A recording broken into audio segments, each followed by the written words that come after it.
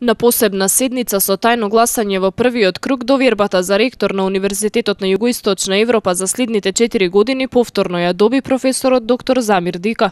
Ректорот Дика доаѓа на ова место по завршувањето на првиот мандат. Како што соопштуваат од универзитетот, тој успешно раководеше со оваа високообразовна институција во Македонија.